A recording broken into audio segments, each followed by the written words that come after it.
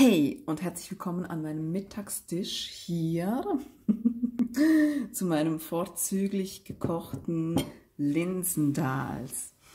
Ja, ich wollte noch was mit dir ein bisschen besprechen hier, währenddem ich ein bisschen was esse und nachher dann auch gleich wieder weiter muss, im Kontext zur Herrscherinnenenergie.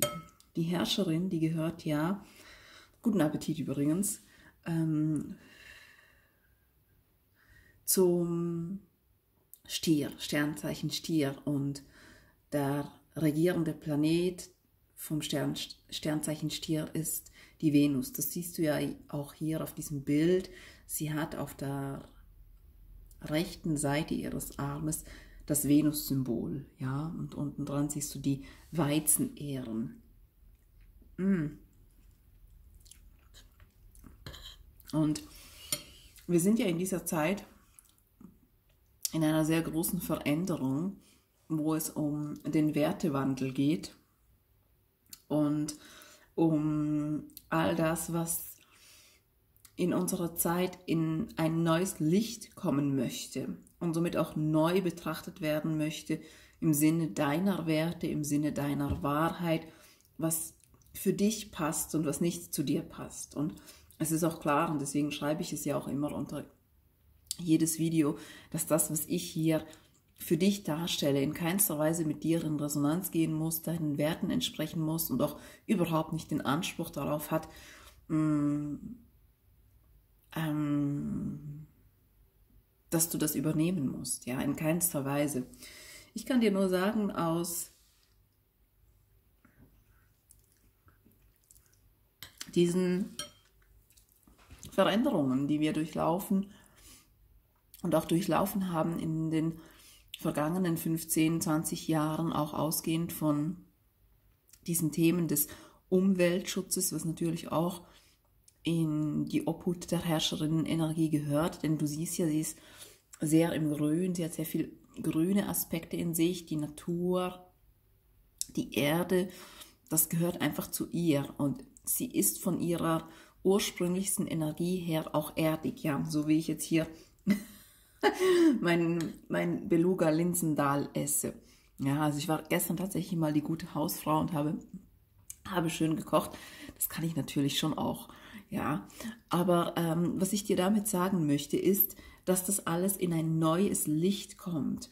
Und ich war natürlich auch deswegen ein wenig in meinen Gedanken versunken, gerade auch deswegen, weil ich mir hier dieses, dieses Dal kochen kann. Ja, weil ich alle die Zutaten habe, die ich brauche, um ein richtig gutes Dal zu kochen, was ja nicht hier den üblichen Standardgerichten der Schweiz entspricht. Sehr logisch. Ich meine, ich bin, ich, ich, ich bin, äh, ich wurde hier geboren, ich bin hier aufgewachsen, aber äh, ich bin indischen Ursprungs und natürlich tut es mir unglaublich gut, wenn ich auch meine Heimatkost essen darf. Und es gibt mir natürlich auch ein Gefühl von innerer Saturiertheit und auch gut in meiner Kraft, in meiner Energie stehen zu können. Ja, ich glaube, das geht bestimmt allen Menschen so.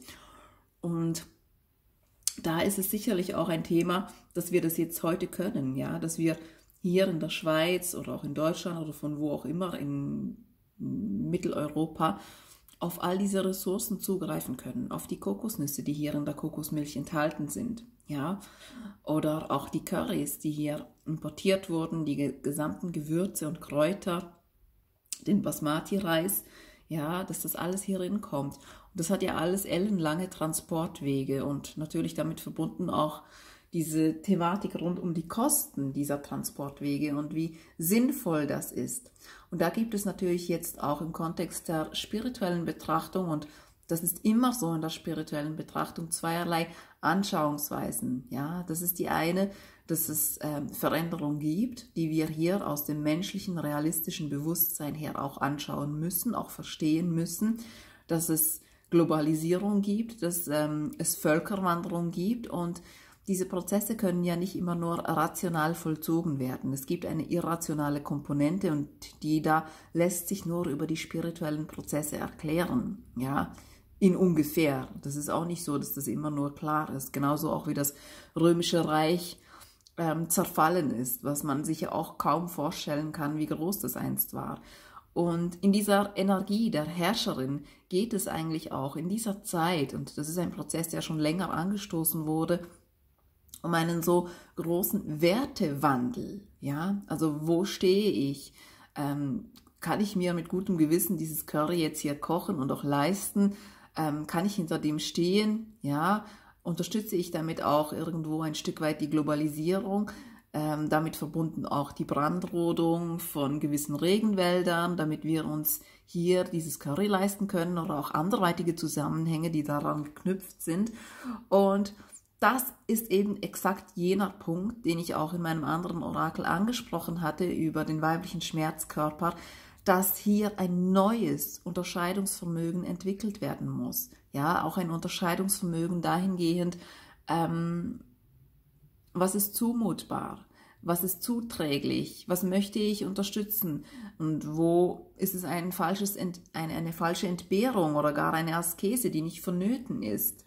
Ja, und all diese Themen, die müssen innerlich für jedes Individuum natürlich auch individuell beantwortet werden. Ja, und natürlich ist es auch so, die Herrscherinnenenergie mm, ist natürlich erdig, gehört zum Stier, Venus. Und erdige Energien, gerade auch wenn es um die Themen der Werte geht, sind von Natur aus konservativ.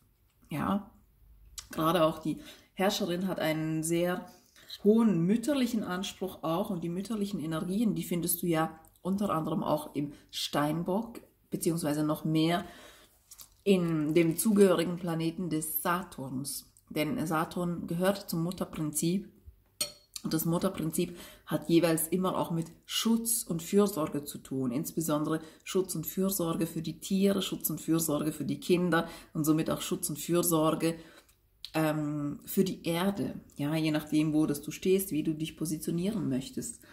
Und somit auch in diesem Kontext, wenn man mit saturnischen Energien zu tun hat, insbesondere wenn sie in einem Angstfeld sich tümmeln, dass man das eher als eine Einschränkung wahrnehmen könnte, wenn man Grenzen gesetzt bekommt. Ja, denke an deine eigene Mutter, wann sie dir die Grenzen gesetzt hat, oder an deine Vorgesetzte, wenn sie dir Grenzen gesetzt hat, oder an anderweitige weibliche Autoritätspersonen, wenn sie dir Grenzen setzen, aktiv oder passiv, bewusst oder unbewusst.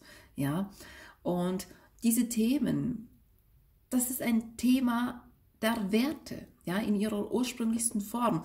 Und das Setzen von Grenzen führt natürlich logischerweise zu Einschränkungen. Hm. Ist aber dahingehend auch dienlich und notwendig, um diese saturnische Weisheit schöpfen zu können. Denn ohne diese Einschränkung und das zurückgeworfen werden auf einen selbst kann ein Mensch sich nicht in seiner eigenen wahrhaftigen Tiefe auch erkennen. Und das ist letztendlich auch ein Geschenk, welches wir bekommen durch diese Einschränkungen, die wir hatten in der Vergangenheit, ja, also diese lustige Corona-Krise, die wir durchlebt haben, um uns eigentlich mal einmal wirklich mit uns selbst auseinanderzusetzen. Und Menschen, die ständig immer nur im Außen sind, außen, außen, außen, außen, außen, die setzen sich natürlich nicht mit sich auseinander oder Sie projizieren dann eben auch ihre Themen auf die anderen, geben den anderen die Schuld, ähm, sind frech zu anderen, betiteln die anderen als weiß nicht was, statt eigentlich bei sich hinzuschauen und zu erkennen, was die eigenen damit verbundenen Themen sind. Ja? Und aus diesem Energiefeld genährt erhalten wir auch die Möglichkeit, durch diese Abgrenzung, was auch dem Herrscherinnenprinzip dient und aus ihrer Kraft auch geschöpft wird, uns wahrlich erkennen zu können und somit in unsere Weisheit zu kommen. Und es ist somit eine ein wenig passivere Energie als jetzt wie aus der männlichen Quelle vom Herrscher, der autoritativ, konfrontativ, vielleicht auch diktierend auftritt. Aber sie kann das auch, wenn es denn sein muss. Ja, das ist auch spannend, diese Unterschiede zu sehen und auch zu spüren und zu erkennen Mm, wo man steht. Und auch in diesem Wertewandel, in dem wir ja momentan zurzeit drin sind, auch in Bezug eben auf die Partnerschaften, auf die Beziehungen, auf die ähm, Mann-Frau-Thematik findet auch durch diese Zeitenenergie, durch die wir ja aktuell gehen und schon einige Jahre dran sind, diese zu beschreiten, ein so großer Wandel statt, als dass es noch gar nicht bei uns angekommen ist. Und ja, wie gesagt, ich finde, es ist immer sehr wichtig in diesem Kontext bei sich zu sein, bei sich zu bleiben. Hm. Gut zu überprüfen, was deine Werte sind und eben im Spiegel zum Außen auch zu schauen, ist das auch mein Wert, der vom, vom Äußeren kommt, ja? Oder bin ich möglicherweise noch nicht so weit, weil ich die Essenz dieses anderen Wertes, dieses neuen Wertes noch nicht annehmen kann und ihn deswegen ablehne.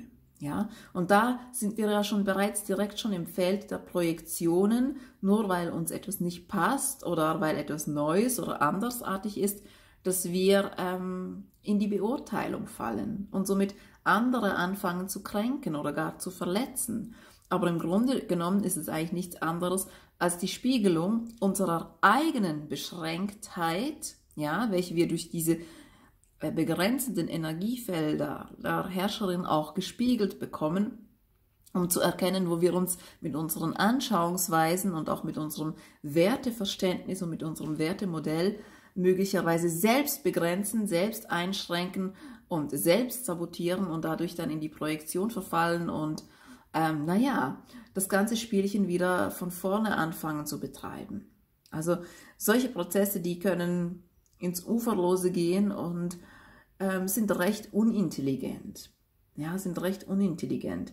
Und das kann sich dann so lange aufwiegen, bis dann für den einen oder anderen, für das Individuum ein Schlag kommt, um erwachen zu können. Und deswegen habe ich hier auch noch diese Chemiel-Flasche dazu genommen, orange über rot und rot hat natürlich immer viel mit Erwachen zu tun, um in ein neues Bewusstsein, in ein geläutertes Bewusstsein auch hin zu seinen eigenen neuen Werten und Wertmaßstäben zu finden. Und ich bin mir sicher, deine Werte sind nicht meine Werte und meine Werte sind auch nicht deine Werte. Wir haben irgendwo Schnittmengen, gemeinsame Schnittmengen, aber das ist auch gut so. Das soll auch gar nicht anders sein. Und dass wir uns in diesem Kontext auch respektvoll begegnen können. Ja, und das ist, glaube ich, das Allerwichtigste, im Zuge dieser großen Veränderungen, dass hier nicht Schuldzuweisungen oder Projektionen stattfinden, nur weil man a. gewisse Dinge vielleicht noch oder nicht versteht oder b.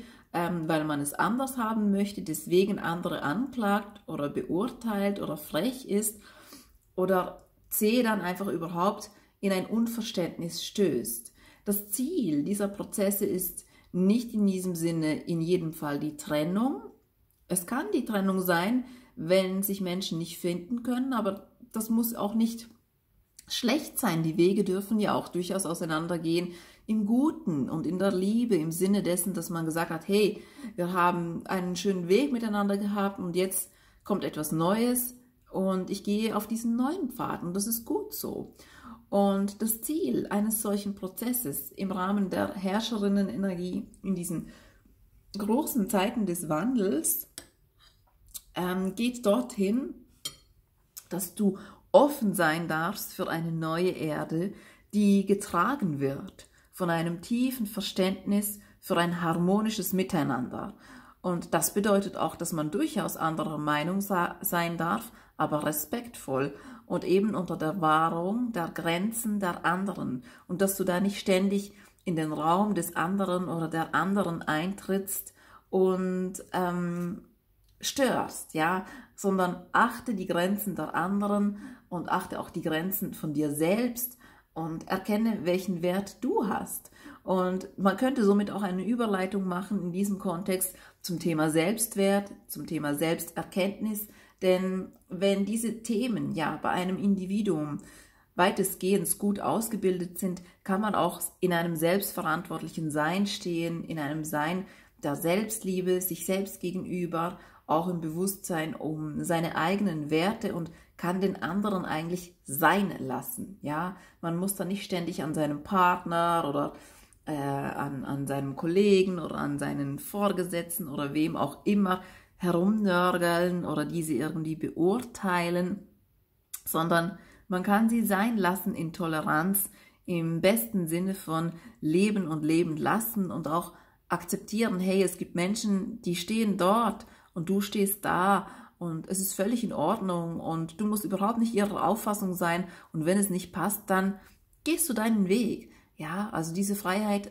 soll und darf jeder haben, um sich weiterentwickeln zu können. Und manchmal ist es auch so, dass der eine oder andere nochmals eine Schlaufe dort machen muss, hier machen muss, um wieder an diesen Platz zurückzukommen. Ja, also ich finde es ein spannendes Transformationsfeld, auch eine sehr interessante Zeit, in der wir ja so in den letzten drei, ja drei Jahre sind das jetzt schon knapp, reingekommen sind, um uns neu betrachten zu können und dass eben Grenzen beziehungsweise auch Beschränkung, Begrenzung uns eigentlich ermöglicht, in dieser Dichte und auch Dichtheit mit uns selbst zusammen sein zu dürfen, um uns erkennen und beleuchten zu können.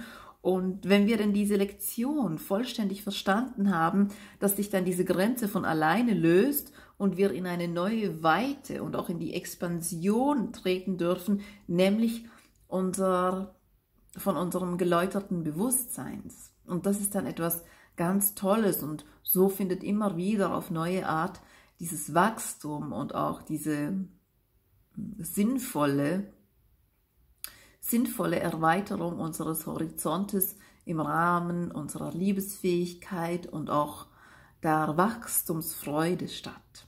Und die Herrscherinnenenergie hat natürlich klar auch mit Wachstum zu tun, denn sie wird ja sehr oft auch als diese schwangere Person dargestellt, die so fruchtbar ist, die so reif ist, die natürlich auch absolut urweiblich ist, um eben mit all diesen Themen, die ich eben genannt habe, gescheit umgehen zu können. Und das sind auch Aspekte natürlich, die gleichermaßen auf Seiten der Männlichkeit stattfinden. Ja, meine Liebe, mein Lieber, nun wünsche ich dir weiterhin einen guten Mittag und ähm, guten Appetit, falls du noch nicht hattest. Und bis bald, mach's gut, ciao!